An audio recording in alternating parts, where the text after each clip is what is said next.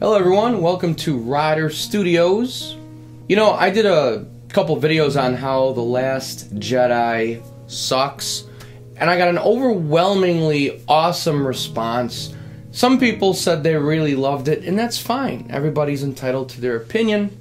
Most, if not everybody, said it sucks. And a lot of you guys and girls were very offended, and rightly so, that Disney did such a diarrhea job of this film. In fact, I hate calling it a film because, even as a standalone, take away all the other Star Wars films, it was still garbage. There's a petition going around because fans are so animate about this train wreck on ice, this feminism BS of Kathleen Kennedy, who needs to be removed from Disney. She's garbage. And her wearing a shirt that says, woman power on the set. Everybody I've cared about is gone. I don't care about anybody else. I don't care about stupid Finn. I don't care about stupid Rey. I certainly don't care about stupid Rose. It's ruined and it's gone. My kids, ages 6 and 9, Disney's target demographic, they hated it. And there's a video at the end of this showing you their response to that. What I was thinking God knows I've got time because I've got the day job and four other YouTube channels. Wouldn't it be awesome to do a really cool, and I've been thinking about this, film?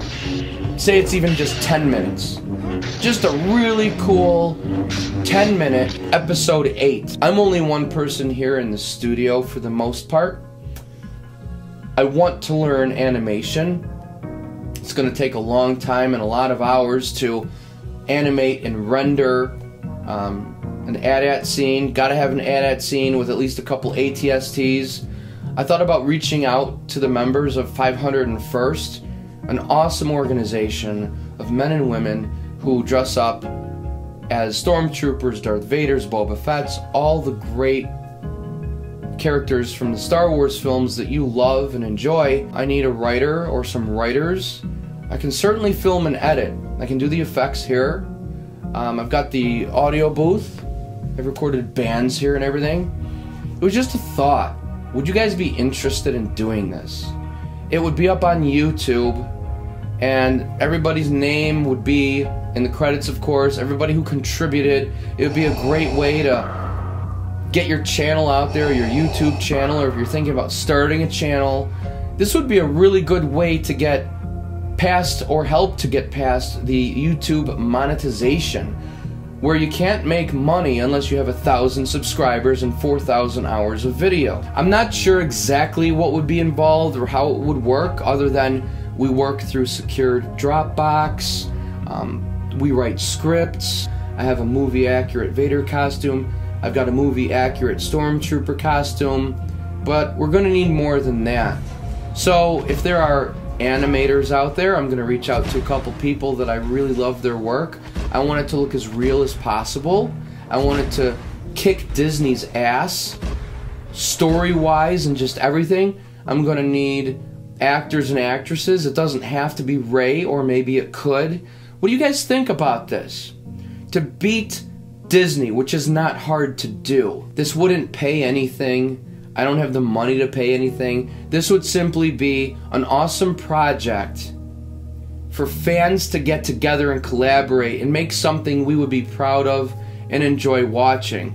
I'm certainly not going to get paid for it. Um, it would help to boost our channels and to circulate something really cool. I think it would do really well.